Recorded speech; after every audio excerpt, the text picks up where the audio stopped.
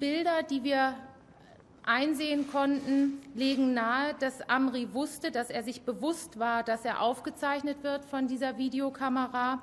Er wendet sich der Kamera zu und zeigt in die Kamera den sogenannten, und ich hoffe, das spreche ich jetzt einigermaßen richtig aus, Tauchritfinger.